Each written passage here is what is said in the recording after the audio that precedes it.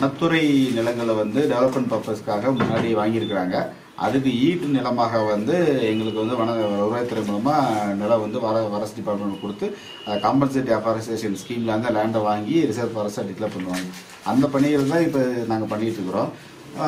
அதுக்கு அதை வனத்துறைக்கு ஈட்டு நிலமாக கொடுக்கறதுக்குரிய லேண்டு வந்து ரெவன்யூ லேண்டு தான் மேக்ஸிமம் ரெவன்யூ புறம்போக்கு ரெவன்யூ அது ஃபாரஸ்ட் ஒட்டி இருக்கிற லேண்டு தான் அவங்களுக்கு கொடுப்பாங்க. இந்த ஈட்டு நிலமா வந்து விவசாய நிலங்களையோ இல்லை பட்டா நிலங்களையோ நாங்கள் வந்து எடுக்கிற எடுக்கிறது அந்த மாதிரிலாம் எடுக்க மாட்டோம்.